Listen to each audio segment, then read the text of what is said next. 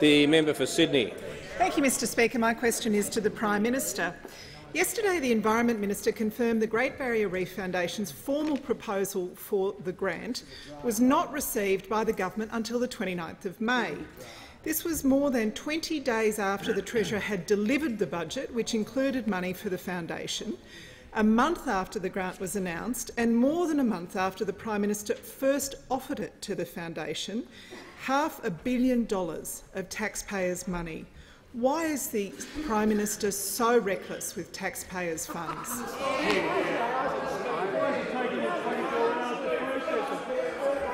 The Minister for the Environment has the call. Mr Speaker, I'm surprised. I'm surprised I let the member for Sydney ask this question because the day we announced the funding, the member for Sydney welcomed it, Mr Speaker. Welcomed it.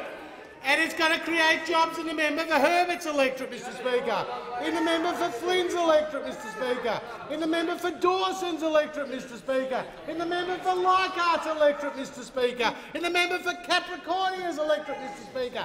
That is why we have invested $500 million in the Great Barrier Reef on top of the $2 billion we have contributed through the Reef 2050 plan with Queensland, Mr Speaker.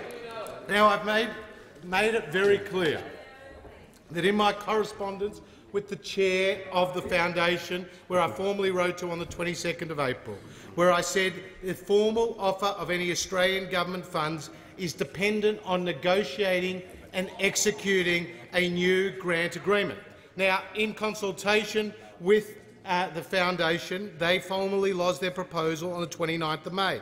This was after I had released the Commonwealth Grant Guidelines, Mr Speaker, of which this was compliant with. Now, on the 20th of June, under Section 71 of the Public Governance Performance and Accountability Act, I approved the grant to the Foundation, having considered a detailed assessment of the application by my department, which had included the second stage of due diligence by my department and the Australian government solicitor, Mr Speaker. And I want to read to the House what my department recommended to me, Mr Speaker. And I quote that this investment in the foundation would, quote, meet the government's policy objective to protect and manage the Great Barrier Reef, that it would represent value for money and a proper use of Commonwealth resources, and that was consistent with the provisions of the Governance and Accountability Act, Mr Speaker.